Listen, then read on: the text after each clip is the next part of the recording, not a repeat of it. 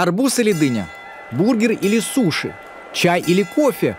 Ну и главный вопрос человечества, который делит мир на две половины – окрошка на квасе или на кефире?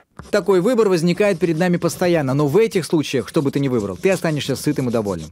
Что же говорить о более серьезных вещах, когда от твоего решения зависит судьба целой страны. Добро пожаловать в историю. Историю выборов. И да, все-таки окрошка на квасе. Не согласен? Пиши в комментариях о своем выборе.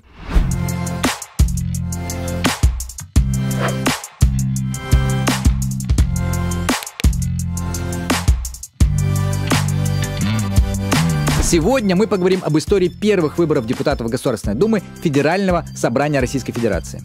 1993 год. Это выборы, без которых невозможно представить нынешнюю политическую систему страны и здание на охотном ряду. Ну, что там еще могло быть, если не Дума? Постсоветский период стал новым этапом в истории избирательного процесса. После проведения референдума 25 апреля 1993 года было подготовлено два альтернативных законопроекта. Согласно одному из них, половина депутатов должна была избираться по одномандатным округам, а другая половина по спискам избирательных объединений. Э, другой законопроект звучал проще и предусматривал сохранение избирательной системы, когда депутатом становится тот, за кого проголосовало большинство. Короче, надо было выбрать что-то одно. В итоге все, как это часто бывает, решил президент, издав указ о поэтапной конституционной реформе в Российской Федерации, итогом которого стал распуск съезда народных депутатов Российской Федерации и Верховного Совета Российской Федерации, где люди так и не доработали до конца своих полномочий. А какие были амбиции, сколько планов? В итоге президент учредил Федеральное собрание Российской Федерации, состоящее из двух палат – Совета Федерации и Государственной Думы. Ну, почти как в Англии – Палата лордов и Палата общин. Но с лордами у нас была напряженка, зато ума две палаты. На 12 декабря 1993 года были назначены экстренные выборы депутатов Федерального собрания Российской Федерации, а также референдум по принятию новой Конституции Российской Федерации.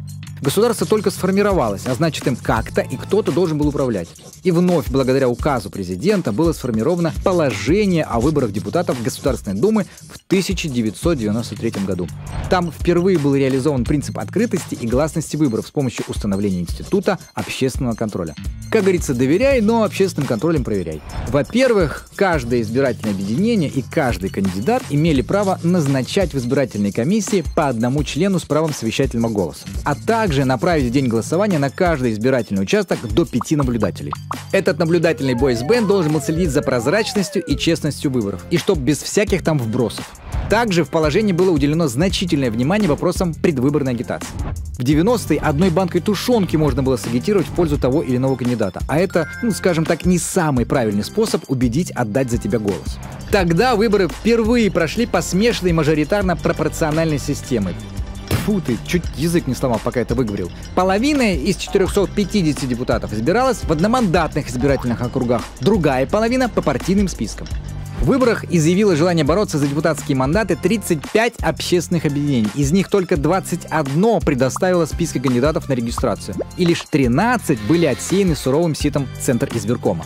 Сегодня не во всех телешоу такой жесткий отбор. По итогу было избрано 444 депутата. Счастливое число, ну как минимум для них. 225 по единому федеральному округу и 219 по одномандатным избирательным округам пяти округах выборы не состоялись, а в Чеченской республике выборы не проводились. Явка составила 54,7% избирателей при необходимом пороге в 25%. Ну, так сказать, сходили на выборы с запасом. Немного статистики. За период своей работы Дума первого созыва приняла 461 закон, из которых 310 вступили в действие. Сразу видно, люди работали, не покладая рук. Возможно, даже без выходных, возможно, даже не спали, возможно, нет, ну, есть буфет, ходили точно. Вот самые важные акты. Объявление амнистии лицам, находившимся под следствием или содержавшимся под стражей в связи с событиями 91-93 годов, а также договор об общественном согласии. Но были и другие важные решения. Э, все 310 я перечислять не буду.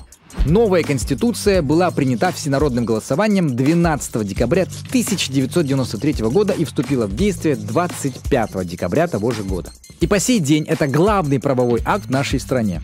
Конституция базируется на двух основных принципах. Принцип верховенства основного закона и принцип прямого действия конституционных норм.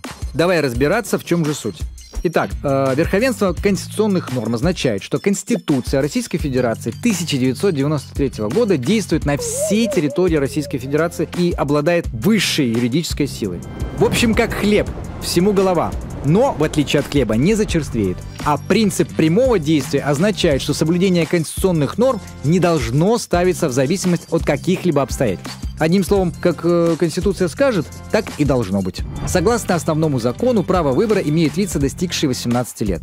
С 18 можно избираться депутатом местного совета, с 21 года депутатом Государственной Думы, а с 35 лет президентом страны. Кстати, напиши в комментариях, сколько тебе лет и куда бы ты мог баллотироваться. Согласно Конституции, не имеют права голосовать лица, признанные судом недееспособными, а также граждане, содержащиеся в местах лишения свободы. Так что хочешь голосовать, не нарушай закон. Да и вообще, думаю, и так понятно, что этого делать нельзя. Поговорим об организации финансирования выборов. Как задал бы вопрос один известный блогер, а сколько вы тратите? Законодательство допускает использование как государственного финансирования выборов, так и средств из негосударственных источников. Также кандидаты в депутаты вправе создавать собственные избирательные фонды для финансирования предвыборной агитации. Тут уж где ты возьмешь деньги, твое дело и твой выбор. Главное, чтобы все было честно. А то и самого не выберут, и потом после суда еще и голосовать не сможешь. Еще одна важная вещь. Для того, чтобы избирательная система работала, нужно не только постоянно прокачивать избирательное законодательство, но и закрепить основные принципы избирательного права в Конституции. Принцип равных выборов, принцип альтернативности, принцип независимости избирательных комиссий. Запоминай, это все то, без чего невозможно провести демократические выборы. Но вернемся, как говорят депутаты после обеда, к нашей Думе. Государственная Дума первого созыва проработала два года, и уже в 1995 году состоялись следующие парламентские выборы. Их проводили на основе специального федерального закона о выборах депутатов Государственной Думы Российской Федерации от 21 июня 1995 года. Активность избирателей оказалась выше, чем в прошлый раз – 64,76%. Народ стал понимать, что от голоса каждого зависит будущее страны. Тогда в избирательной кампании участвовало 43 избирательных объединений блока. 43! Кто только тогда не лез в политику.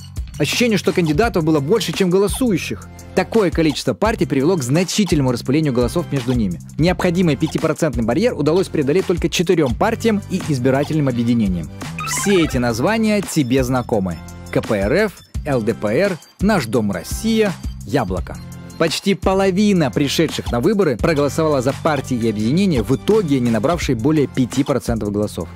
Те выборы запомнились разнообразием партий и объединений, многие из которых не существовали ни до, ни после этих самых выборов. О самых необычных из них я расскажу тебе в следующих выпусках. Это была история выборов. Пока.